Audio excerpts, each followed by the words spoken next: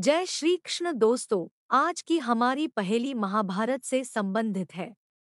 अंजन पर्वा का वध किसके हाथों हुआ?